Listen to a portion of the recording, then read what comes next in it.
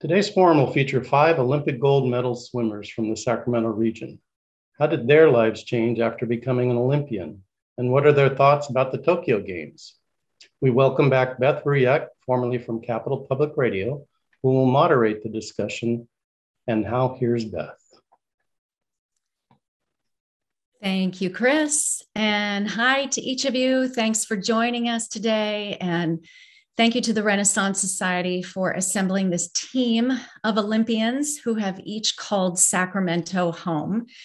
And one of them still does. That's a trivia question that you can listen for for a little bit later on. You're going to meet the Olympians in a moment. I am Beth Ruyak. I am your host. This conversation is also going to include your voice. The way to do that is to look on that bar at the bottom of the picture and where you see Q and A, click on that and you should be able to type in your question. And then I'll work in the questions as we go along throughout the event. We are here for 90 minutes. Hope you're going to be here for that duration. So, without any more moments' notice, I'm going to let you say hello to our panelists. They are popping in now. Here's our group. Jeff Float is joining us. There's Mark Spitz. Hi, Mark. Hi, Jeff. We are oh, watching right now. Hi, there's Mike Burton. Oh, just back from the Mexico Games, I see Mike. Yeah, just got in. Summer Sanders Schlopy is joining us from her college girls weekend reunion. We are so privileged to be cutting into that special time. And Debbie Meyer is with us too, all the way from North Carolina. Hi, everyone. Great to have you here. Beth. Thanks, Beth. I'm mm-hmm. happy to see everybody. Everybody looks awesome. All Hi, of you. Hi, Debbie. so that that prompts a question here, and I don't know if you can see us all in a group, but at least you can answer this with an audible. Have all of you ever been together in person before? Partially. Partially. No, partially, I think partially. I think at the 84 trial, we were all together. I don't know about summer, but uh, Debbie, Mike, and Mark were, you know, at uh, Indianapolis. That's the last time I recollect, but I don't know about summer. I, I was not at your guys' trials, but I went to the 84 games and cheered cheered whoever it was whoever made it and was competing. I cheered them on, and it was a a complete freak of a spectator, but that's when my dream. I'm sure, I am actually sure that we probably have all been at a swim something together. Um, but you know what, Beth, we don't get to see each other often enough. Um, so it's just, an, I'm just so excited to see everybody's faces and everybody looks healthy and good and happy. And I think that's awesome. Well, the truth is, without Zoom, I don't think we could do this. We couldn't get you all back here in one place at one time. And so this is really wonderful. So that everybody gets a bit of a feel for your background, um, I'm going to go a little bit one at a time here with some questions. And Debbie, I'm going to start with you. Debbie, as many people in the Sacramento know, and a lot of your classmates remember this in high school when you won the three gold medals at the 1968 games in Mexico City. That was the 200 free, the 400 free, the 800 free. And you became the first swimmer. I don't know if that's on Team USA or in the world, Debbie, to win three individual gold medals in one Olympics. And, and you did it at just 16 years of age. So, first of all, clarify was that for Team USA or anyone in the world? I think anyone in the world, as that's far as I know. Yeah, that's what I suspected. You went on to win 15 world records. Will you talk about how it changed your life to have had such a powerful experience at such a young age? And I know that today you were just talking to kindergartners about the Olympics. So you were a teenager. What did this mean? You know, a teenager at that time in the 60s, that was kind of the norm for the girls. Um, today it's not because Title IX was not in existence at that time. There really wasn't any, there were a few team, college teams with AIAW, but uh, it, it did change my life. It changed it a lot. Um, I grew to love aquatics a little bit more. Um, I did not compete in Munich because the actual fun of training and competing just kind of died. But I still had the love of, of aquatics and I followed swimming. I got into coaching. I've coached high school, I've coached college, um, Division One, Division Three. Um, I've um, had my swim school. We're going to talk a little bit later about your relationship with Katie Ledecky. And it was amazing to see her jump out of the pool and poolside call you out and thank you for being a mentor. So we'll get back to that in a little bit. I want to go to Mike Burton because, Mike, you won two gold medals at the same games, the 1968 games, thus your shirt. Yours were in the 400 free and the 1500 free. But the amazing part of your story is then that four years later, you defended that 1500 meter title. You set a new world record. And that race is often highlighted as one of the most, um, in terms of individual races, biggest surprises, most biggest upsets, if you will, in swimming history. And you weren't favored to win, but the circumstances, we could get into a long story, put you in a position of being the USA's best hope. So I want you to talk a little bit about the mental game of competing versus the physical game and and be personal about it for yourself. Where where were you with that? Well i'm glad you asked. You know in munich well actually none of my races was i ever favored. Um, you know i was able to you know get on the blocks and do a good job but the reason for that i think is because whenever i was on the blocks and ready to swim, it was like I was going to win. I never never entered a race that I didn't think I was going to win, and uh, so that made a big difference in how I competed and so on and so forth. But uh, you know, you know, Rick DeMont uh, was disqualified just prior to the race or that morning uh, because of uh, his uh, asthma medicine contained ephedrine, and that was banned from the, uh, the Olympics. So, and I was talking to uh, a great coach, Peter Daland, at the uh, 2008 Olympic trials, and a few other guys were standing around. I, and I, I wish I could remember who the per- person was that said this. He said, you know, if Rick had been in the race, who would have won? And I, I said, you know, we're, never going to know because he wasn't in the race. and Peter goes, good answer. Yeah. Yeah. Yeah. Because I think you're you're leaning heavily on the power of the mental game. And two people in the pool at the same time, you know, who knows? It's not just sheer skill and talent. Although I think Jeff Float thinks it's it's both. And we'll get to Jeff right now because Jeff, your history is interesting too. You made that 1988 team that was boycotted, ironically, because I say ironic because of the times that we're in. Russia had invaded Afghanistan, and that prompted the boycott. But you hung around, and four years later, 1984, you were back in the pool, you were competing, and you were on that four by 200 gold medal relay, also chosen as team captain. So you can talk about mental versus physical, but as a hearing impaired athlete, Jeff, I think people do want to know how your story affected people, what what you have heard over the years from people about that. And literally, what do you hear when you're swimming? Uh, well, that's a loaded question. Um, so in 1980, I was a sophomore at USC, and uh, the, the game were awarded to LA kind of during that time. But in 1980, we were riding a, a wave of um, the American beating the Russians in ice hockey in the Miracle on Ice in February. Oh, that's right. That's right. So, you know, we were rampant with our patriotism. And in April was when we found out we were going to be boycotting the games, and our trials were in June. So, you know, literally we were getting ready to peak when when we heard the news. And it was kind of like I was, I was kind of like a walking zombie. I didn't know what to expect. I didn't know how it was going to turn out. You know, the trials turned out to be kind of a going through the motion. You know, an honorary team um, was, was put together, and we ended up going to Hawaii where the boycott swimming nations got together while the uh, Moscow Games were going on or just before. We were trying to compete against the times, and it just didn't, didn't have any of the feel or any of the excitement at all. So it was a very difficult time, but I fortunately had two more years of college eligibility right. that kind of kept me motivated. And I, I'd ride my bike next to, you know, where the pool was being built on campus.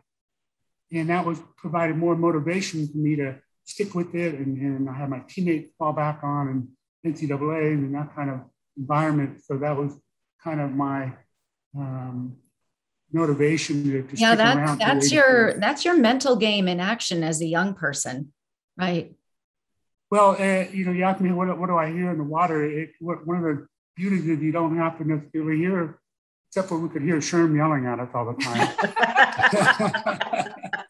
Sherm is the coach. Sherm Chavoor is, Sherm Chavoor is the famous coach of four of these five Olympians. And Summer, I think Mike Hastings is cut from the same cloth or was in the same tradition. So anyway, you you all had um, a dose of that magic. Yeah, well, uh, it's funny, you know, uh, with with Summer, uh, Mike Hastings was her coach, and Mike was my age group coach when I was eight, 10 years old at Arden Hill. So in essence, Sherm's influence had a lot to do with Mike and Mike and his success. And in fact, I think even Mike Hastings was uh, down on 68 trials, you know, uh, for, for Mike and Debbie and Mark. So, you know, it, uh, uh, the influences have been phenomenal. Okay, Jeff, just tell me quickly, are you somebody that hear, hearing impaired people reach out to? Are you um, an enduring role model for people with not just deafness, but any kind of disability that they need to strive against for what their dreams are?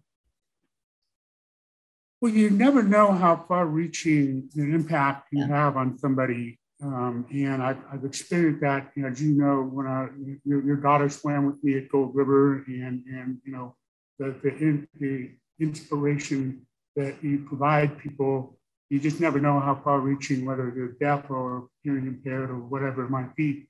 And so it, it has been just, you know, things come out of the woodwork when you least expect it. So it, it's just been uh, really a great um, way to give back to the sport.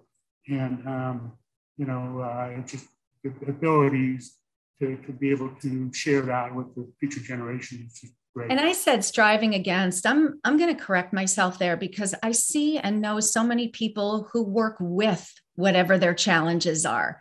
And the, the challenge might be a roadblock, but they don't necessarily work against it. You know, they incorporate it and and make that part of their life in a way that works um, in tandem with who they are. Well, it's just turning your disadvantage into an advantage. And to exactly. me, you know, being hearing impaired is kind of like a, a, filter in my way. Uh, it filters out the, the you know the, noise I don't need to hear, and I can focus on the things I want to focus on. I think that was one of the things that was good for me is I didn't need to necessarily hear, you know, what was going on around me. I could just focus in the water and, and that kind of that uh, environment, quiet environment to begin with. So was just all right, I'm going to move on to summer and talk about summer's gold medals, which I was able to witness myself. I was working for NBC at the time and happened to be assigned to swimming at the time of her races. Summer won two gold medals um, individually in the 200 meter butterfly and then collectively in the 4 by 100 medley relay. Her silver came in the 200 um, meter individual medley and then the bronze in the 400 meter individual medley. This was all at the 1992 games. Jeff, by the way, if we didn't clarify, had been at the 1984. Summer then had a stunning college career at Stanford and obviously still a big group of friends, her own uh, mutual cheering section. They're celebrating this weekend. But by 1992, Summer athletes and swimmers could be professional as opposed to amateur. And even though the world of social media wasn't happening then, sports were changing because of that. So, could you give us a little bit of insight into the decision making that you had to do coming out of the Olympics and, and college and how to navigate what your life and your career were going to be? Yeah, well, first of all, I have to tell everyone and probably the rest of the panelists that every single picture that I have of my gold medal moment includes Beth in the background.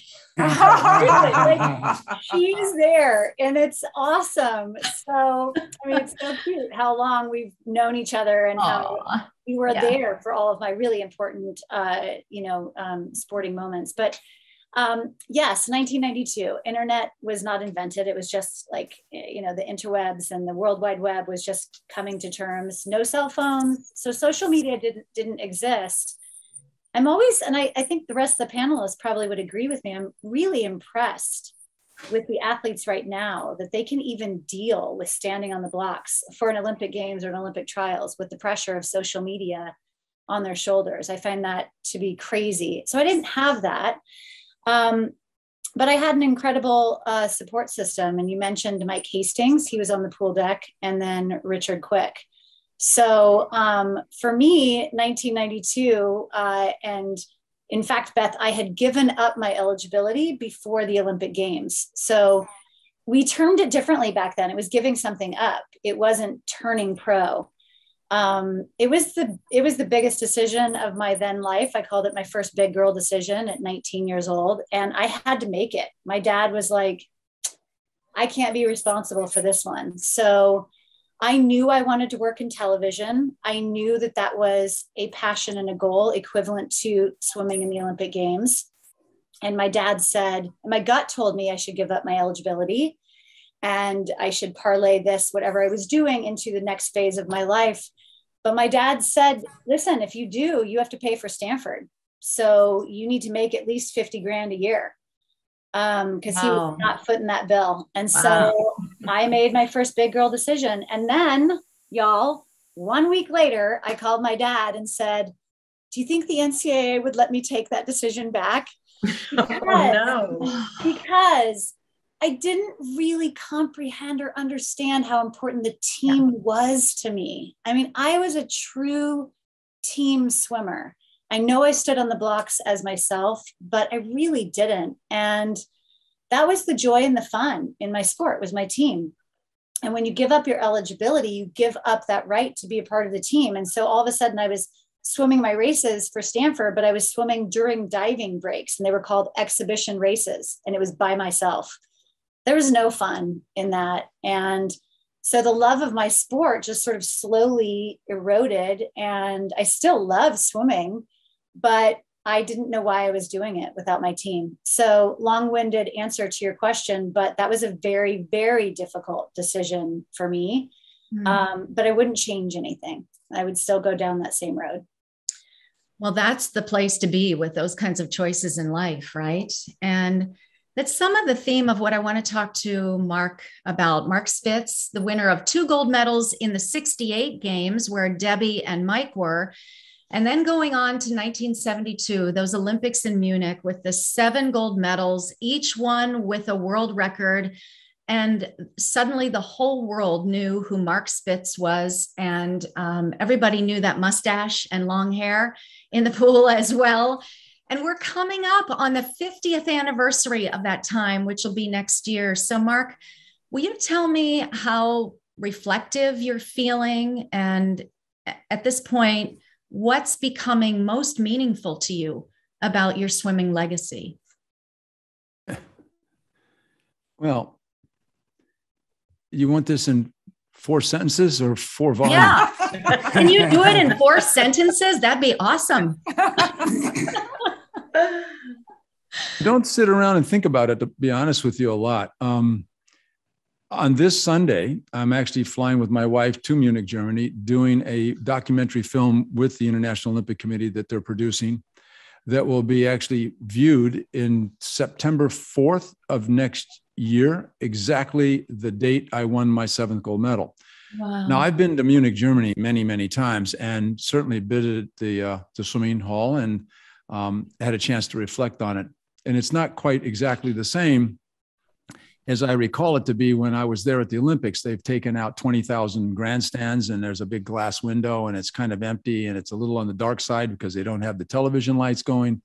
And and obviously there's a void of the atmosphere of the Olympic Games. Um, and, and that in of itself is sort of an interesting thing to handle because I think every one of us has probably visited the swim complex that we've had such great success. And it's sort of like an echoing feeling of being there. Um, it's not depressing, but it's like, you know, I don't like looking back. Um, and I like looking sort of at movies or videos that I can see of the uh, presentation.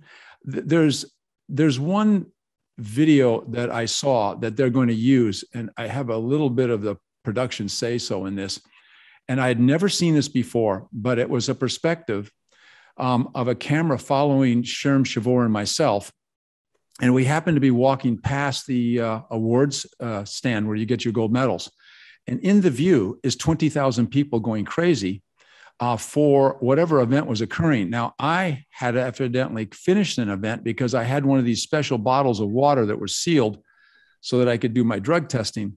And, and from that perspective, it was kind of funny because I said, boy, that was actually really me there. The only films I'd ever seen before was me swimming.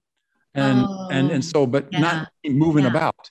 Um, yeah. And it kind of brought back a memory that, wow, this really happened to me uh, because it's been so many years that when I view this, and I don't know how the other panelists feel, it's like, wow, that was me.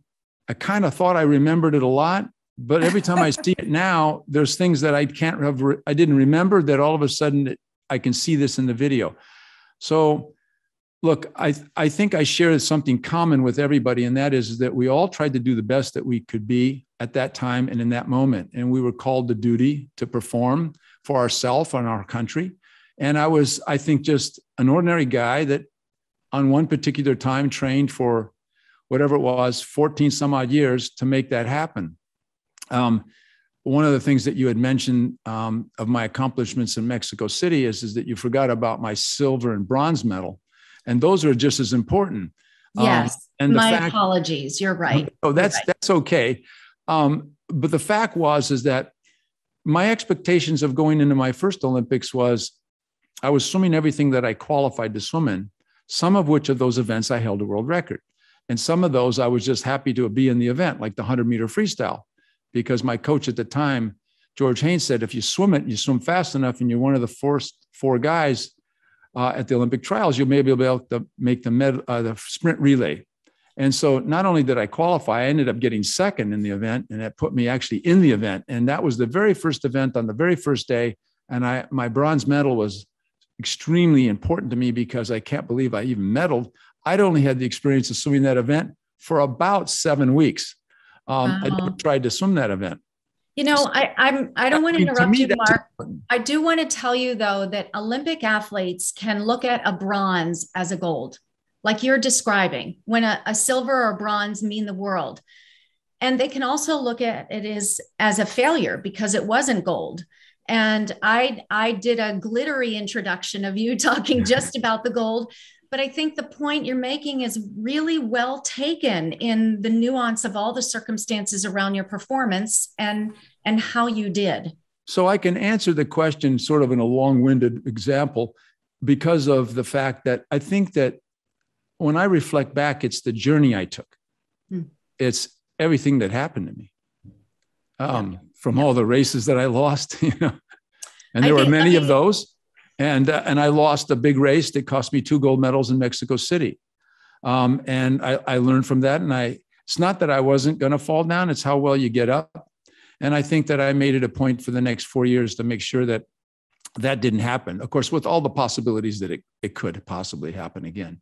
So somebody once said to me uh, at an Olympic event in 2000 that I was a guest uh, in Sydney, Australia, and they asked me sort of sheepishly, "What do you think your greatest accomplishment was?" And I said, "Well, I think maybe winning seven gold medals in Munich." And the guy said, "No, that wasn't your greatest accomplishment." So I kind of was listening. Okay, what is that? It kind of reminded me of that commercial from E.F. Hutton, and my broker says, and then everybody turns their head. well, you know, what are we going to invest in? And he said, well, I looked at the last bunch of times that you swam in international competitions and all the world records you had, and you swam in about from the first time you broke a world record when you were 17 years old until you finished swimming in 1972. You were in about 76 different competitions. Wow You had Mm. 35 world records. So statistically, about 50% of the time, you were going to break a world record. But in the last two years, of the 20 times that you swam, you had 19 world records and you won all of those events. He says, That I think is your greatest accomplishment. And I said, Hmm, that's an interesting statistic. Of course, swimming doesn't have statistics like that, like in baseball. But I said, Well, that again, that's part of my journey. you Yeah. know? And, Yeah, and that and was it. I think I think everyone would say the journey. Uh, Summer, I want to point out, and this is not to say anything about anybody's ages, anyone's, but Summer, you were born the year that all this was happening to Mark. Isn't that funny I am with I am with all my college girlfriends, and we just got done saying it's our 50th year. What are we going to do for our 50th birthdays? So when Mark was saying that he's celebrating his 50th anniversary of his gold medal, and then obviously Debbie talking about Title IX. I mean, I'm so fortunate that I was born in 1972. You know, I mean, I I got a lot of opportunity by being a Title IX baby, and and you know debbie paved the way for that. Many other donna de Varona billie jean king all these people that came before me that are so amazing.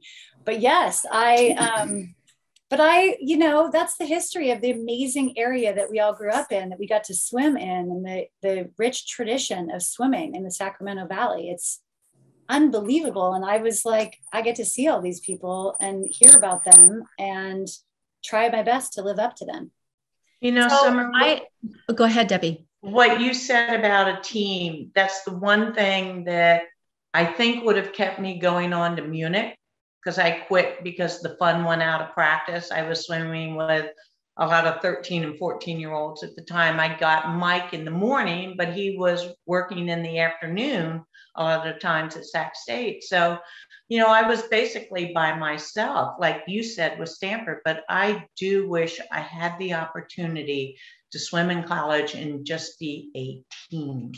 Mm-hmm.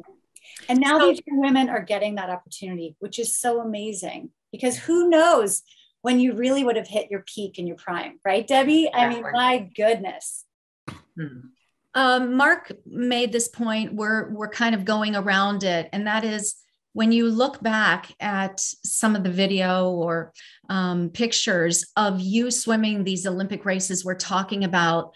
I I am curious. Let's see if I can put this on a scale of one to ten. How much, how close you feel as a person to that person in the image, in the picture, or the video. Ten would be, oh, I feel right there, right that person. One would be it's like an out of body experience. So here goes. I want to put us in a boardroom to discuss this. So, so um, I think I'm going to have a little help here. Here we go. okay, so we're all in the boardroom, and uh, I'm having flashbacks of Celebrity Apprentice. I mean, this oh is my gosh, that's hilarious. Okay, so um, to my far right is Mike. Mike, one to 10, when you look back, how close do you feel to that person in 1968? Well, in 68, I believe I was that person. Was and, I'll, and I'll tell you why. A lot of people don't know that uh, during the course of my career in swimming, I took a minute off the 1500 meter time, world Hmm. record, Hmm. entire minute. Hmm. And so that was a lot of hard swimming, and that took a lot of preparation, planning, and trying to stay ahead of Mark at Arden Hills. okay, that sounds like a nine or a 10 then in the answer. Yeah, absolutely. Okay. Uh, Mark, you're next, sitting to Mike in my boardroom picture here. Um, you know, we're we're talking about 50 years. So how close do you feel to that person? Well, not in shape, that's for sure. um, yeah, I- when you there's an old adage I've used: when you fail to prepare, you're prepared to fail. I mean, here's a perfect example like that. Don't ask me to get in the pool. But from a weight point of view, I weigh within three pounds um, of Oh. that weight, and I, I think that, I think that all that I learned from swimming carries with me every day. Um, the discipline of trying to approach something and the realization that it's not going to happen overnight. my expectation is is that you need to put in the work and you need to do be, be very due diligence with the people that you surround yourself with. I've always tried to maintain that I should be the stupidest person in the room, and therefore I have the most to learn from those that are smarter than me. Um, and so, and I kind of looked up to my coaches. Um, maybe Sherm Chavoor didn't think that at the time because I always questioned whether or not I should show up at practice. I mean, there was one time, for an example, that he actually got in the car and he gave all those guys, I don't know, some stupid thing like five, 1500s to do, and he drove to get me. Um, okay, but, wait, I'm, I'm still listening for your one to 10 answer here. Well, I think that probably, I don't know, seven and a half. Okay, I'll take it. It's a good diving score. All right. So, Debbie, you're next, one to 10. Oh my gosh. I am, some ways I'm the same. I'm a 10. Okay. I've got that desire, I've got that determination, I've got that dedication. I've got that competitiveness in me. Ask my husband when we're on the golf course or on a ski hill. Um, I always want to better myself. I always want to learn something new every day, like I told the kids in the kindergarten class today. But personality wise, can ask Mike, I am not the same person. I was a naive, introverted little person. And as Mrs. Moulton at Rio Americano used to say, you guys have verbal diarrhea. So I, am, I am totally a different person personality wise. I, I'm, I think I'm still humble because when people talk about me, I get embarrassed. Yeah. But um, I, so I'd say probably about a seven. Okay. Well, um, Jeff, you're next. What do you think? Well, when the Olympic come around, the Olympic trials come around, I am that athlete from 1984. I mean, I, I feel what those swimmers are going through. I know what the coaches have done to get those swimmers re- ready. And I, I feel like, like as Mark said, as soon as I dive in the water, I'm nowhere near with a swimmer, you know. But uh, all those things that I've learned, you know, from, from the past carry with me today. Um, I'm grateful for each and every one of you that have come before me, um, Mike and Mark and Debbie. Um, you know, a common denominator we talked about earlier was, you know, Sherm Chavoor, and he was 10 years ahead of his time. And from the perspective, my perspective, I was a six, seven, eight year old when you guys were doing your thing and they were breaking the record by 20 seconds, 30 seconds at a time.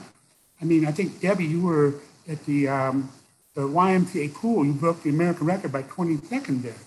Is that right? Uh, uh yeah, and Mike, that was you know, a long time ago. Yeah, and, and yeah. Mike, you know, breaking uh, uh, uh, the trials, I think in 68, you broke the mile record by 20 seconds. People were just blown away.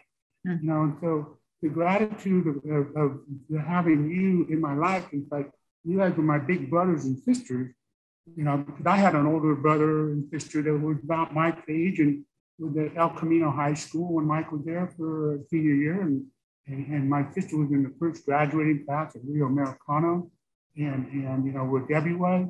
And so they were like my big brothers and sisters.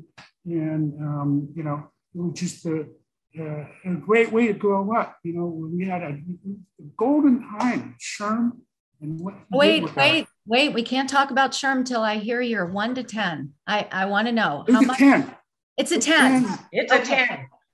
Yeah, yeah. Jeff is yeah. the coach of I believe. I believe that's Maybe 11. So, uh, so yeah, I'll give you an 11 on that. All right.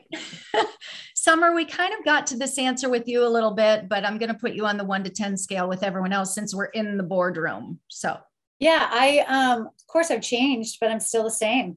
So, mm-hmm. at the core of who I am, I'm, I'm my dad's daughter, my mom's daughter. Uh, so I'm at I'm 9.5, Jeff, just to be a little bit different. just to give right. a little wiggle room of being a little bit different. But at the core of my being, I'm exactly the same person. Debbie's known me my entire life, basically. Have yeah, pretty much. Oh, remember when you had your your parade in Roseville before going to the games? When I had remember my, that? when I had my wisdom teeth taken out. Oh yeah, no, yes, she was waving on the uh, a convertible and your grandpa was there and dad. Yeah, yeah. I so had really quickly sidebar just because it might be funny for the crowd, but my dad was a dentist and he said you need to get your wisdom teeth out so you can either be swollen for vacation or swollen for your parade. And I was like, oh, I'm going to be swollen for my parade. And I was lit. I mean, golf ball, like double golf balls down here, like this. classic. Yeah, I'm exactly the same, I think. I I love this um, very close family, real life kind of small town life that I'm hearing in your stories and in all the things you're saying. So because of that sort of intimate feel, let's get the heck out of the boardroom and get back to the way we were. there we go. There we go. Okay. Can you imagine if somebody just tuned in when we were all sitting there like that and thought the forum's going to be like this all? if you are just joining us, I am Beth Ruyak and I am talking with five legendary Olympians, gold medalists, and silver and bronze medalists too, and world record holders and world level com- competitors who are from the Sacramento area. We're reflecting on Olympic swimming from years gone past. We have had Summer Sanders and Jeff Float, Debbie Meyer, Mark Spitz, and Mike Burton talking with us. Um, let's talk a little bit about the Tokyo Games. And um, Debbie, I said we'd get back to talking about Katie Ledecky. I also messaged each of you just as the games were beginning and asked your thoughts going into the games. And Debbie, yours is one of the emails I got back. So you said, as I am sitting here watching Katie swim the first ever final in the 1500, I'm trying to realize that I was in a situation, two events 53 years ago. Can I understand what I did then? No. I still do realize what I did. No, I don't realize what I did, and I'm not sure I ever will. So, talk about the mentorship, Katie at the Tokyo Games, and, and what swimming is and does to a person. Well, with Katie, I first met her after the 2012 games. Um, it actually was a long time after. It was 2014. We were at a conference, a swimming convention in Florida, and I'd never met her. So I went up to someone. I said, "Oh, I want to meet Katie Ledecky. I want to meet Katie Ledecky." And they go, "You haven't met her yet?" And I said, "No." So this gentleman, Bill Maxim, took me up to introduce me, and I said, Katie, this is Debbie Meyer. And her parents were standing right next to her. And her mother just went gaga because apparently I was her hero because she was a distance swimmer in the her day of swimming. And of course, that embarrassed me to no tears, but that started our relationship. And then um, I met her again at the, the trials in 12 and in 16 and I mean in 16 and and um, I didn't go to 20 but I would go down to Stanford and I would talk to her there and you know I got pictures with her with my granddaughter and you know Chris Muntz also was with me who was a Stanford grad from grad school and she was also our um, chaperone in 68 and a three-time Olympic gold medalist herself, who, you know, lives in Sacramento as well, but swam out of Santa Clara with Mark.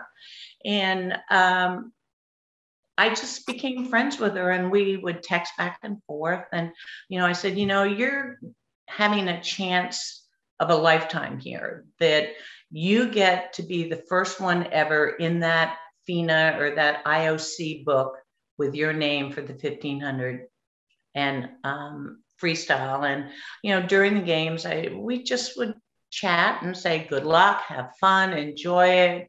You know, always remember what you did because I never kept a diary and I wish I did. As Mark had said, seeing events and seeing films from other, you know, people taking pictures of you, you know, I don't remember a whole lot. You know, this is a 69 year old brain that's waterlogged. I don't remember everything, and I wish I had. But Katie is a sweetheart. She has so much heart. She is so humble.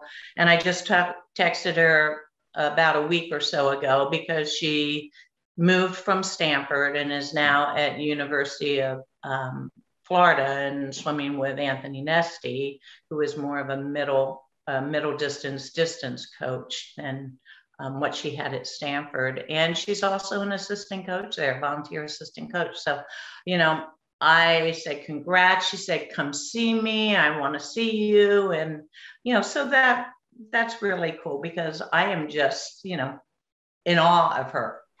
Well, eh, Debbie, I I will say that you are being a bit humble about this because there was so much written leading up to 2016 that she was chasing your history because she had the chance and then did accomplish three gold medals in one Olympics. And so, uh, you know, the way the media, listen to me, the way the media can set it up, um, it can be a competitive, a comparison thing. And I think your embrace of each other made it otherwise. However, she hasn't been thanking you as a friend or a big sister. She has been speaking words about your mentorship, about the specific intimacy that you have with the experience that she's having. I hear it in a way that's that's far beyond two people reaching out to each other saying hi you're great. Keep going oh well thank you beth. And i've got to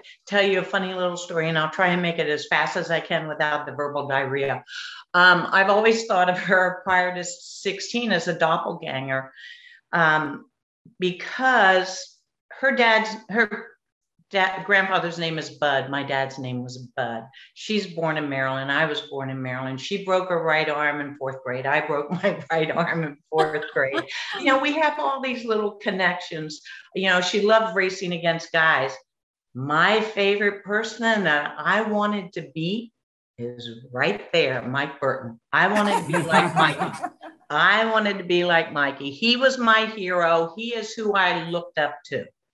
And, you know, I couldn't wait till he got home from UCLA every year. So then um, at the Olympic Games, which is even eerier, she won the 800 by like 10.5 seconds. I think I was 11.1. She won the 400 by um, five seconds. I was right around five seconds. She won the 400, 200 free like by five tenths, and I won it by like four tenths. So it's really eerie how similar we are. And I am just so thankful it was her because she is such an awesome person. Well, thank you for sharing that because that validates some of what I feel when I watch the two of you. And I didn't know any of these stories. And it's really great that she's going to continue swimming. If this was a game of popcorn, you kind of called out Mike next. So I have to go to Mike next. so, Mike, I, I do want you to say something about the fact that going into these games, it was all about COVID and whether Japan should be holding an Olympic Games, whether it was safe for the athletes. And these swimmers were going to be in a hall that had no spectators. How dramatically different would that experience have been for you as an athlete? And was it for them? It would have been totally different, but at the same time, it's the, the hand you're dealt. So you just go for it, you know. And, and I was I was so pleased that our swimmers did so well. And because they you know, they were put in a spot with the, you know, they didn't know if, you know, they swim an event and then the next day come down with COVID and out of there. And we dealt with that a little bit down in Mexico City with the turista. And uh, I lost 15 pounds before my 400 freestyle and then uh, had to come back and swim my 1500. So it was, uh, it wasn't easy, but you know, at the same time with COVID, it could knock you right out of the, you'd have to go home, you know, so. Mike, I feel, I, well. I feel like I should go into just a little bit more of your background because you've now expressed a couple times how you are about challenges and adversity. Is this story correct that you went to swimming after a pretty bad bike accident? Yeah, when I was 13, I got hit by a large furniture truck dislocated my right hip and uh, uh, tore the ligaments in my right knee. And uh, throughout my throughout my career in life now, people a lot of people you know collect tattoos. I collect scars. so I've got both knees replaced, my right hip replaced, and so it's been uh, it's been quite a journey that way. But your uh, You're bionic. That's what you're supposed to say. Six million dollar.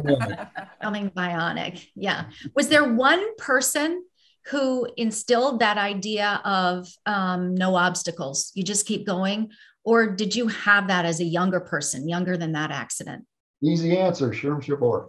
Oh, wow. and he was he was the guy I uh, I looked up to and uh, tried to you know find out his history and things like that. It- he was a great man. I um, I miss him terribly. Well, Mark, let's talk a little bit about these Tokyo Games because I think I saw on social media that you had jumped out in front even before the Games and put out your plan for how the Games could go forward, regardless of whether people were vaccinated or Japan felt COVID safe. And then the topic of mental health emerged, and it became um, sort of. Um, the highest boat that rose up out of the games the the enduring topic that i think is going to change future olympics so maybe little needs to be said about the fact that the games were being so threatened or challenged or um, contentious because of covid and more about athletes and mental health could i could i just get your observation on that Yeah, sure. Thanks uh, for that question. Um, it's a very personal thing when people are in a public environment where they have to be observed so often.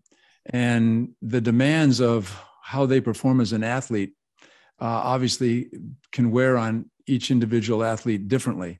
Um, I think uh, Summer uh, talked a little bit about the fact that with Title IX and this and that, and she had to turn professional, and she kind of regretted that thought and whatever. Today, these athletes, unlike Debbie, Mike, and myself, we never came to an Olympic Games with an agent, a strategist, a trainer, a psychologist, uh, a negotiator, um, and a lot of obligations contractually. Um, there has never been any comment that somebody's actually said, um, well, I've got to do well because my sponsor expects me to. And that would, I've never heard of a story like that. But you knowing know that that sort of is an underlying theme that you want to do well because you want to get renewed. Um, in mental health, there's a variety of things of the pressure that builds up over the expectation. We first saw this uh, with Michael Phelps, for an example, uh, where he had made um, a clarification and an acknowledgement that he was having a problem trying to get back into not necessarily the mainstream of life to be just lost in a crowd, but his stream of life. And the same thing that we saw with Simone Biles. Um, look, if if Michael doesn't feel good about himself, the worst that's going to happen is he's going to miss a turn. Um, with Simone, she won't be able to complete a task, and she can break her neck and kill herself. So the the consequence and the severity of how that besets an athlete is is is rather intense. I think that she, under the circumstances, did the right thing for her, and and because that's what she did, and we all have to respect that. And I think that there's a reason that we have to respect that. It's not because of our selfishness that we want to see her win another gold medal. She's won many, and I doesn't diminish the ones that she won or the ones that we expected her to win.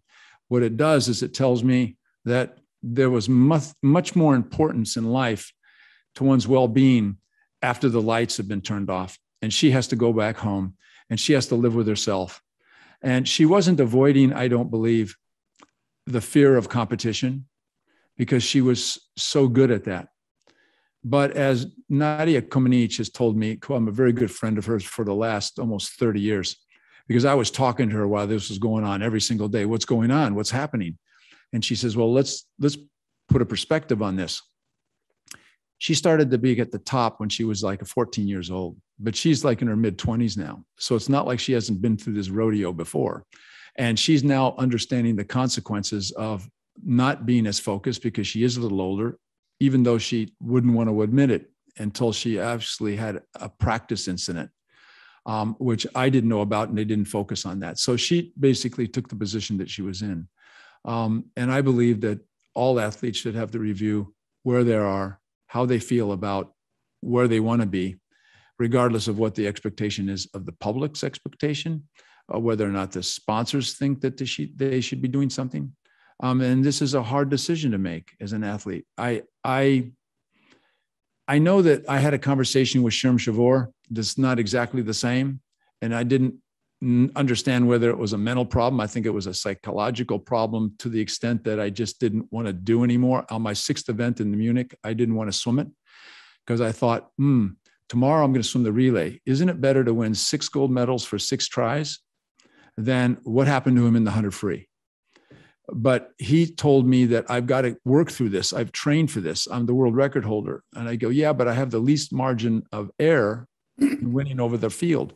And he says, but that's not important. I said, well, how am I supposed to win the race? He says, I want you to go out fast. And I says, well, that's fine. What do I do about finishing the race? He says, I want you to get faster on the second lap. Mm-hmm. I go, yeah, well, that was easily said. He says, that's what we've trained for. Just go back to that place. So he got me out of that kind of a depression that lasted for about four hours of this constant conversation I had with him at the Olympic Village. Was that having a mental breakdown? Sure. Would have I been wrong to not swim it? No. But I elected to suffer the consequences of total failure. Um, and I think that all athletes go through some sort of a, a mental struggle. Um, and, and, I, and it always comes on at the most inopportune time. That's all I can say. Well, and I think, Mark, uh, please correct these numbers if I'm wrong, but you were swimming 14 races in eight days in that time period. So the intensity- yeah, I actually sw- I was I was I swam 15 times in the water wow. over an eight day period of time. so, and Michael Phelps, I think, swam 17 times to win eight gold medals. Well, like I said, I, but, yeah, I, but, but guess what? It doesn't matter if we're in one event. Um, if you're in an event that's longer than 200 meters, you only have to swim the prelims and the finals. The, ank- the, the angst is the same. I'm telling you. From yeah, getting up in the morning just to work out and yeah, you know, warm up. I, I want to restate that it your schedule matters at all because you're right. It could be one event, one race, whatever um, that that place. And fortunately, this is going to be an ongoing conversation. And Nadia Comaneci, being Romanian, it's remarkable how Americanized she's become over time to be able to talk in a nuanced way about the struggle of mental health and athletes and the way she has had to come to terms with her own I mean, I just want to point out something to the audience that's listening. Each one of us on this panel um, spent our whole life at that time, more than half our life. I started swimming when I was uh, about eight years old and I retired at 22. So, two thirds of my life was involved in swimming. And although I was exposed to other things in life up until I was 22, it was my whole life. And then all of a sudden, to be left, well, what do I do now? Well, I went through college, um, graduated a degree in biochemistry, and I got accepted into dental school. And so I knew where I was going. But Michael Phelps didn't know where he was going. Right. He he didn't have to go to school because of professionalism, and he could afford. To, he made a lot of money, and everybody in his camp was basically interested in what he wanted to do, but nobody was thinking about what he would do five years from now and in ten years. And as a result, this is what we see happen, not only to him, but every athlete that plants all their importance on, I'm going to be successful. And even when they are successful, if, if you fail to prepare, you're prepared to fail in some other form of life. And athletics is not always the form of life that you can take. Of course, Debbie and Mike went into coaching. Um, and that's a form of being in the same sport, but not in the sense that they they came as an athlete and then turned into a coach, and they're great coaches. But most of the athletes that I know, whether it's in track and field or in gymnastics, they don't go on to do that, and nobody helps them. Right. And that's why all of a sudden they get into these issues of depression. Mark, I want to add another dimension to that. And, and that brings Jeff into this conversation because when I emailed this summer and said, I'd like to hear your thoughts about the Tokyo Games, Jeff wrote, being a member of the 1980 boycotted team, my heart has gone out to these athletes because their performance has been delayed by COVID. Their ability to qualify and get to the Olympics has been delayed. He said, Before attending the trials, I honestly believed that I'd be of service to an honorary team after the IOC called off those games. And then Jeff raises the question that if the IOC has a net worth of $6 billion, why didn't it ensure that the Japanese population was fully vaccinated in preparation for the games? So that's a provocative point, Jeff. But the point I want to get to is that gap. If you strive and get to that pinnacle point of your dreams you're you've made the olympic team but the olympics doesn't happen or is delayed or deferred then what? Well in my case you know it, it was how quickly things changed. And uh, i did go through kind of a personal depression. Uh, i moved back home uh, before the trial happened. And we didn't have those resources. And now I'm really proud that, you know, mental health is, is getting uh, attention the same as physical health. And, um, you know, that back when we were swimming, it was, uh, we, we always had these psych out games that we play with other athletes. And it was, you know, with Sherman, was like get tough.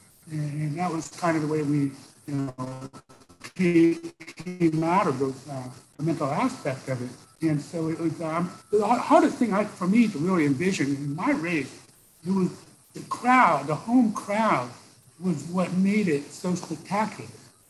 And I can't imagine walking out all that training and not having the energy of the people, you know, that are in the stand. And that's the, that's the that's the Olympic experience. And and so that for me was was the hardest thing to try to relate to with the, the athletes, in addition to how fast they, they swam in spite of the challenges to get water time, you know, dealing with the, the, the lockdowns and, and, everything else, and, and school and everything else.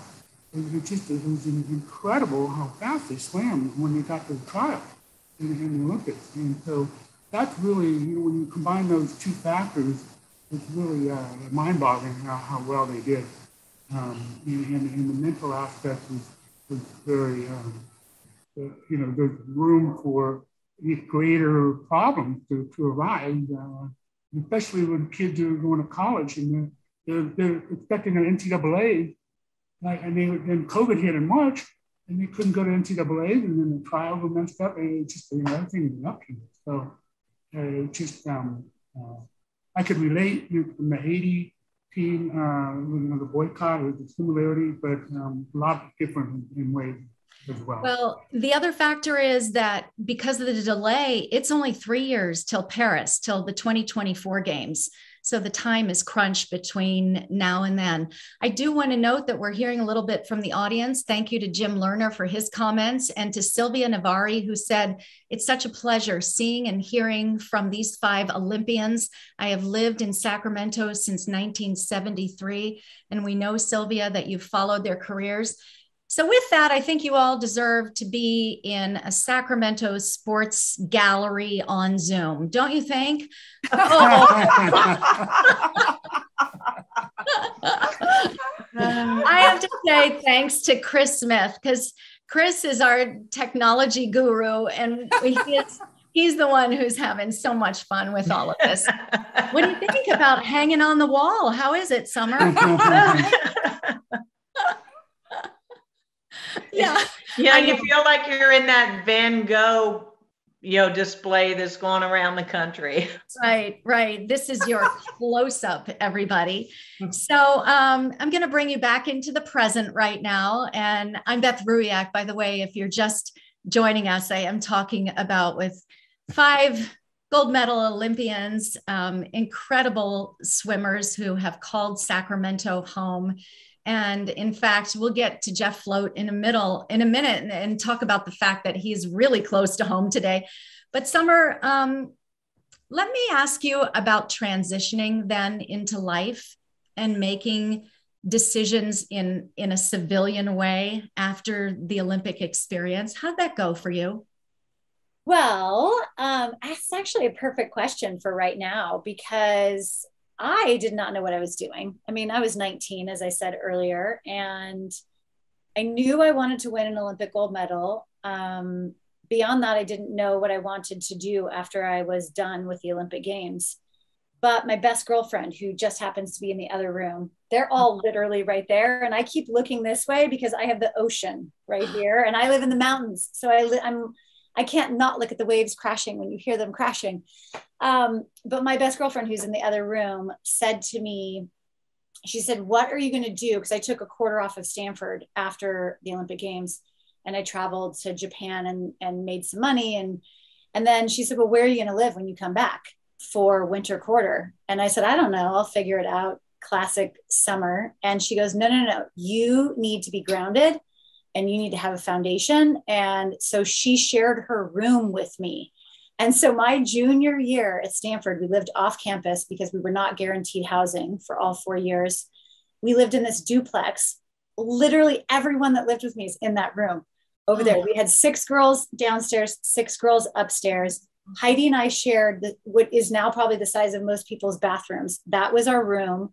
I borrowed a dresser from our landlord I put a piece of plywood on top of that and a futon on top of that. Now, mind you, this is in like the Bay Area just after the 89 earthquake. And here we are. We had like stereos barely attached to the wall. I mean, it was unsafe.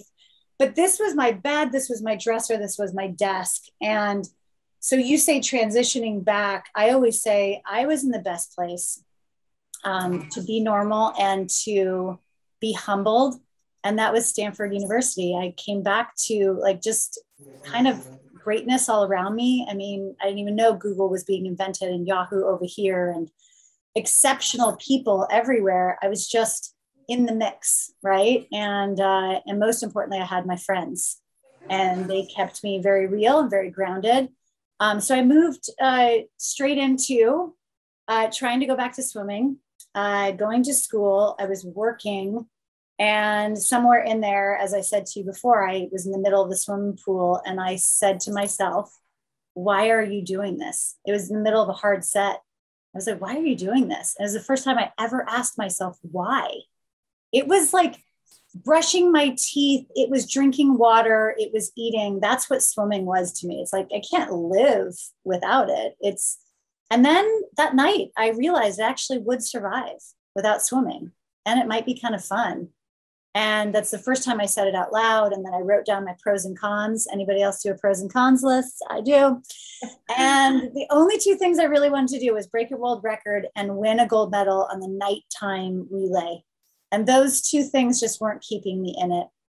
So I decided to move on. And luckily, as Mark had said, I do the same thing with young swimmers. I rem- and frankly, just young people. It's possible to have two passions at the same time. Mm-hmm. You can be a professional athlete and be thinking about your next step. And frankly, you probably should be so that you can have another drive, another passion that you move into. So I knew I wanted to work in television. It was the closest I could get to that adrenaline rush of live competition. And I took every audition that came my way. Um, some I got, some I didn't, and some I got that I didn't like and knew I never want to do again, which is also a great way to learn what your path is. Yeah. Um, and yeah, and so that's that's the story of that. Well, I always in, admired that you held on to your family as tightly as you did and grew as independently as you did. And I think um, that's my coach too. Um, I know we spoke about Mike Hastings, but I just think in this day and age and the power of coaches and the imbalance of power with, you know, young people and young women specifically, I loved the fact that Mike always taught me to be my own coach. Um, I loved the fact that I could go to meets by myself and I would warm myself up and I didn't think twice about whether or not I was going to be capable of swimming fast. I had many national team teammates that if their coach was not on the pool deck or if they did not have the piece of paper that their coach wrote for them, they just couldn't put it together. And Mike taught me to be that person. And anyway, so we've all spoken about our coaches. They're amazing influences on our lives. Um, I'm so grateful for them. Mike, I want to jump over to you because this is October. And in terms of going to the next Olympic cycle or beginning the restart to a season, October is an important time of year. Um, do you do you feel that cycle in you? Do you do you still kind of respond as if you have this built in memory of the cycles of training and swimming? I, I wish I did, but I don't. I'm gonna next year. I'm gonna turn 75 years old. Wow, and that's a milestone for me and my family because uh, the Burtons don't last very long. Uh, they tend to have problems with hearts and things like that. So, yeah, I uh, I don't. I love watching the sport now. I mean, don't get me wrong; it is so cool what the athletes can do uh, nowadays. And I was in Australia in uh, 2000 or 98. I was invited over by Herb Elliott to go to lunch. And it was a luncheon with all their big name sponsors uh, for the Sydney Games. And we were, there were seven of us invited. And we were on stage, and the, uh, the MC had a microphone, and we were all mic'd so that people in the audience could hear us. And he asked questions about, you know, um, our training, how we went about this and that and everything. And there were seven of us on the stage. Uh, John Konrads was sitting over here. He won the 1500 in Melbourne in 1956. And then Murray Rose was sitting next to him, and he won the 1500 in Rome in 1960. And then uh, Bobby Windle won it in 64 in Tokyo. And these are all three Australian guys. And uh, I won it in 68, 72. And Vladimir Salnikov won it in 80 and 88. And had they not boycotted the games, he could have been the first triple winner, which would have been fantastic. And, and what a gentleman he is. I really enjoyed meeting him. But uh, so there were seven of us um, five were Australian. Uh, Grant, uh, Kieren Perkins, Grant Hackett were the last two. They were also Australian. So there were just uh, Vladimir and myself on the dais. And as they went down the line asking, you know, what were our coaches' techniques, you know, what were your swimming techniques, you know, and stuff like that. Rose, Konrads, Bobby Windle all said, well, you know, everything's better now. The pools are better.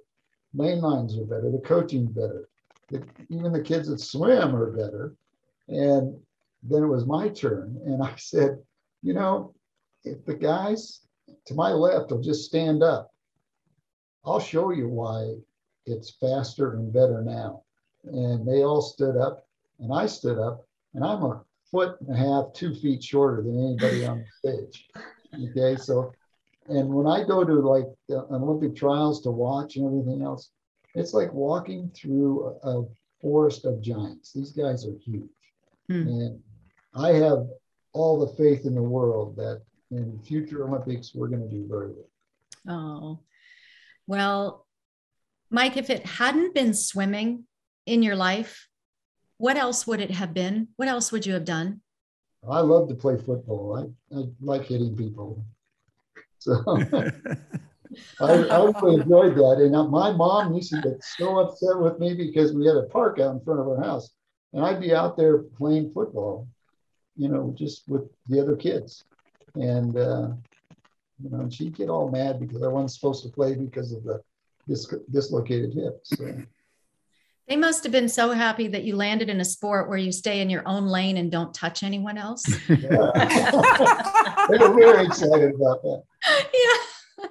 Mike, did you ever play water polo? I tried, you know, and I tried with one of the greatest coaches ever, Bob Horn. Bob Horn. But I'll tell you what, I I had no ball sense at all. I, mean, I would get the ball and I go, "What do I do with it, Bob?" See, How did you do a beater kick, Mike? Oh, Mike, yeah. how'd you do egg beater kick? I couldn't. I didn't think so.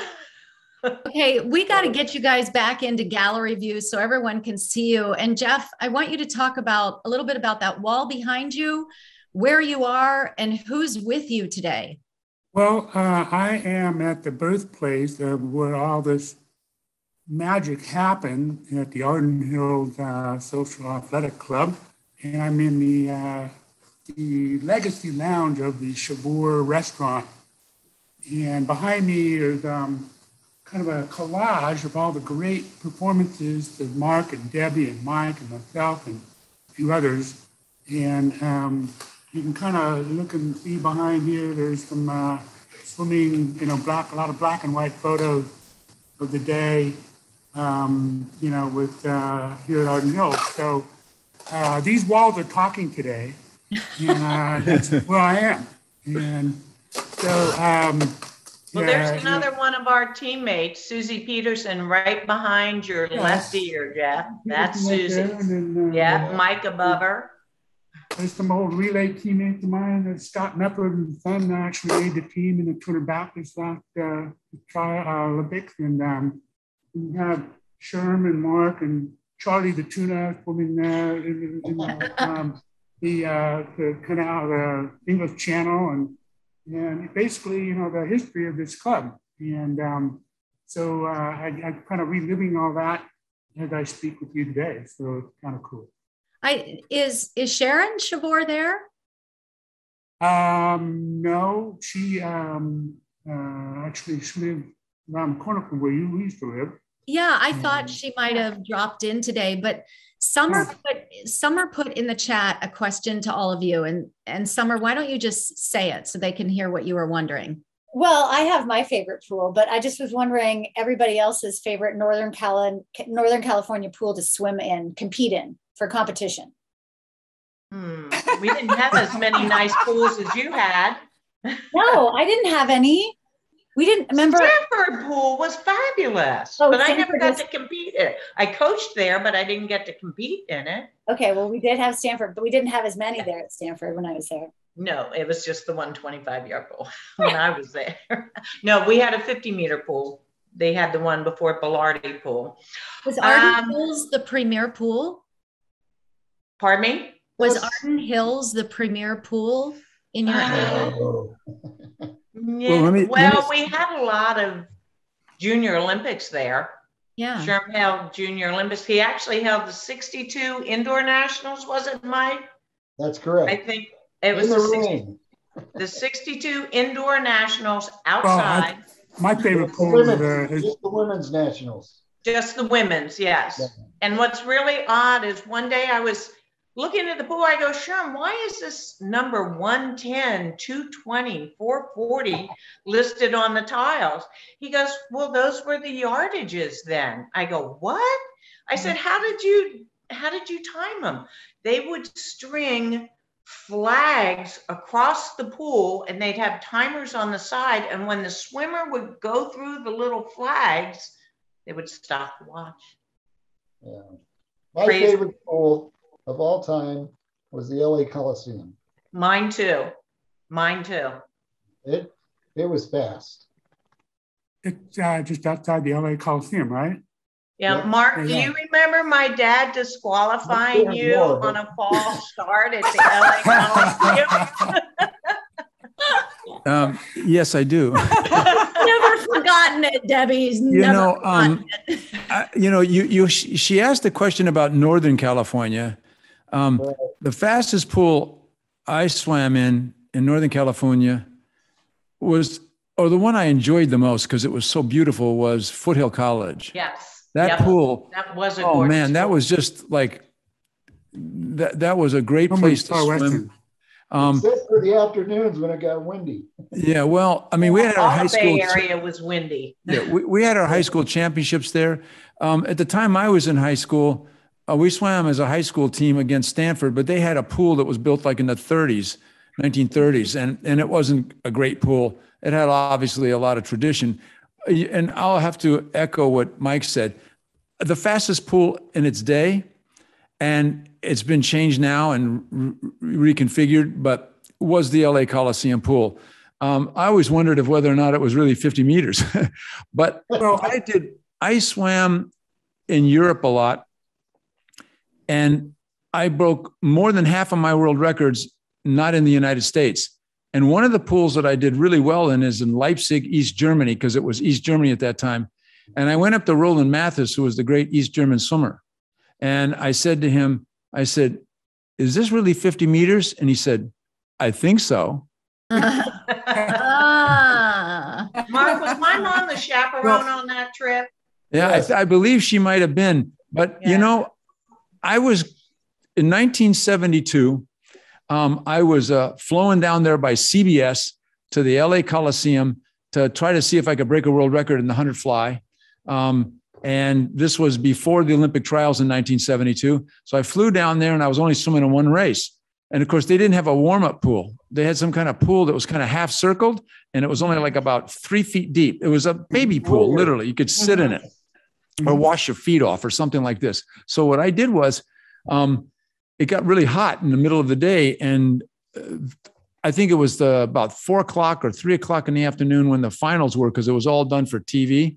And I said to Frank Heckl, who was from Southern California, went to USC, I said, let's false start because I mean, I'm just got to do something. And he says, okay, go ahead. Yeah, I'll do that too. Of course, he said, called everybody to their marks. And in, in those days, they had uh, a, a three on the field, which meant that you could have um, three, uh, everybody false start twice, but whoever went in on a third time, you'd get disqualified. So this was the first time we were called to the marks. And I dove in. And the next thing I know, there was this guy named Mr. Graham who came over, who was the starter. And Debbie, I think your father was the meet official, whatever. And they concurred that if you deliberately false start, and it was not, I mean, was if you intentionally false start, I'll start, yeah. no, um, you could be disqualified. But nobody had filled them in that CBS had paid for my plane ticket, my hotel room, and that I was supposed to be this match race with Frank Heckl. And once they made that decision, and frankly, if I had swum the race, it would have lasted less than a minute. But we spent 10 minutes explaining what the rules were. And I was all part go, okay, okay, okay. Well, at least, hey, guess what? I had a nice little trip here down for two days. I didn't swim the event. Wow, TV broadcast rights get you a little more uh, distance nowadays. So that, that LA pool had, that LA pool, the reason why it was so fast was, is they, in one end, they had a, a, a, a heater that came out and it was like a swimming flume in lane one. And it came, made the pool like a giant whirlpool from one lane one to lane Wow. eight. Yeah, Well, they fact- also had Not- ten foot deep gutters and the deep end was what, seventeen feet deep and the That's shallow right. end was eight feet? Yeah.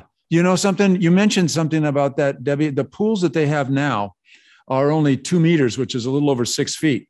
And when you swim in a pool that's actually that shallow, and I consider it shallow, it's like swimming in the Bonneville Salt Flats because when you make a turn, I can't see the other end of the pool. When you dove off in the shallow end, which by the way was about seven or eight feet deep, even at mm-hmm. the LA Coliseum pool, and you looked to a pool that was actually 18 feet deep, I could actually see the target from the moment I pushed off and even without goggles in those days. So it actually came up real fast. The worst part was actually swimming back, but they had to turn the jets off. And Jeff is correct.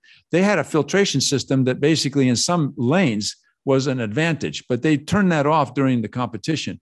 But it was still a fast pool for whatever the reason is. And they tried to copy pools like that, but they could never duplicate it.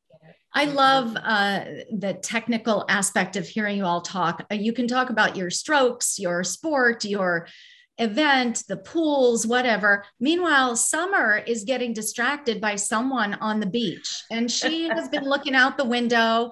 I got, I have to know what's going on. What are you doing, Summer? Well, this is, these are all my college friends. And oh, so we want to see them. We want to see them. well, now they're behaving, but I think it's cocktail hour. And so they've oh. started getting out and they went for a walk on the beach. And then I said to my friend Glennis, why don't you come up behind me? Like there's a closet right here. I'm like, why don't you Yeah. just come up and be all creepy behind me? And she's like, no, we're almost 50. We need to get it together.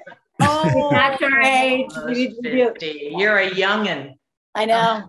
I know. Well, no, I don't know, but I feel it. I'm fine with 50. It's just hilarious that uh that my kids make fun of me now. I like it's it's hilarious. And I get such joy and pleasure out of embarrassing them that it's not right. I told my son, I go, I joined a bowling league. He goes, you're getting old. yeah. Um, uh, family members who are swimmers. Anybody have a competitive? Mark does. Mark does. That's right. My sister Nancy uh, was the American record holder in the 200 yard free- freestyle, Yeah. and she was expected to qualify for the 200 free at the Olympic trials in 72. Um, but like anything else, um, the pressure and the magnitude of what that competition meant, she just on that day just had a bad swim, bad pacing, whatever it was. But um, yeah, my younger sister Nancy was, and she swam at Arden Hills with Sherm. So that would have been interesting. At that time, matter of fact, at that same Olympics, I think Rick Colella, who was a breaststroker's sister, made the same Olympic team in 1972. Mm-hmm. Lynn, yeah. Yeah. Well, my well, brother, Debbie, you know Trevor. Uh, Most everybody yes, I do know Trevor. I know Trevor, Trevor is ridiculously famous in Sacramento and all of Northern California. He owns a ton of quick service restaurants, but he's so kind and so giving. Um, so my brother, imagine this, when he was a junior in high school, and I know this because this is what his license said. He was 5'2, 95 pounds, junior in high school. He's wow. now about six feet and I won't give his weight. But he decided. Wait, he's still in shape. He does. Oh, yeah, Iron Man all the time. Yeah, no, no, no. He's in great shape. But I have, I have no idea. I mean, you can get in trouble with guys by saying they don't weigh enough and uh-huh. they weigh uh-huh. too much. You know, so either way, it's like the no-win situation. But anyway. Well, he was a great sprinter. That's what I'm trying to say. So you have to understand my brother's claim to fame. He decided his junior year maybe I have a shot at a college scholarship in swimming. He was a really, really talented athlete and could and was really good at everything, but not fantastic at one thing. So he gave this swimming a shot all in his junior year. And his claim to fame is he was a sprinter and he stood on the blocks and he was sandwiched between Tom Jager and Matt Biondi. And here was this 5'2 kid. And I'm not going to tell you what place he got. He survived that moment, but it's still one of his greatest stories. Oh, was he swimming for Doug at that time? No, no. This was he was Mike Hastings. Mike at that after that. Yeah. yeah. So I I think in that spirit, let's wrap this up with a thought from each of you about what's important to say to young people right now. And I think it's far bigger than about their sport or uh, about exactly what they want to be someday. It's about being a person, being a good person in these times, and being a person that can navigate challenges that, as you've all established, and I'll put myself in the same group, we never had to deal with. We didn't have tools to face them. And, and we didn't necessarily have people who would have known the answers anyway around us. So, where do we go with young people? Um, Jeff, let me start with you because you're in the midst as a coach and you have lots of young people around you and they really look to you. Well, it, you know, the generation uh, coming up uh, has a, a, lot of work cut out for them. It, it, it learning the skill that um, from, from swimming, especially, and how you're going to apply those in your life. And that's really the fundamentals that we all, I think, you know, grew up with. And, and, and what worked for us then works, you know, for the kids today with the, with the training and um, the discipline and learning how to mind, body, and spirit of what athletics is all about. And um, you have to have each one of those components. You've got to you've got to feed those. And and um, you know, for me, the, the mind, body, spirit component was alive and well um, here at Arden Hills and, and, and, the heroes that I had and, and, having the mentors and teachers that they to look up to. And um, we all need to have a mentor uh, to, to help get us through these tough times and, and finding that passion for something that you that you love to do. Right. And, um, I, I think Jeff, I'm going to hold you at passion right there. I think that's a good one. I'm I want to get through everybody here. So Debbie, what about your message to young people? Follow your heart with desire, determination, and dedication for whatever path you're going to take and be kind. Hmm. Mike, what strikes you as, as a thing to say to young people that's helpful and important right now? All of the above. And, uh, you know, we have movements now, and it seems like every time we get in trouble with ourselves, we have a movement. And uh, you know, everybody matters out there, everyone. Mm-hmm. And we just, like Debbie said, be, we need to be kind because that's what it's all about. You know, if somebody needs a, a hand up, give them a hand. Um, you know, and just go go with it. And again, find something you love and do it well. Uh, it's the passion again. Summer, you've got kids in your own home, and maybe they don't necessarily listen to their parents like all kids, but but but if they could, what would you want them to really know? Um, well, I think consistency and patience. Um, I changed my message from to young kids from you can be anything you want to as long as you work hard and put your mind to it. I'd, I'd like to remind kids to be bold and use their voices, um, but be patient enough to think before they speak, have the guts to stand up for others and stand up for themselves and what they want. Um, I think practicing those skills is incredibly overlooked. And I think it should be practiced just like we practice our sports and our studies. Um, kindness is key and um, consistency and patience with life and yourself. Okay, we just have a very short amount of time, Mark. What, what's your message to young people?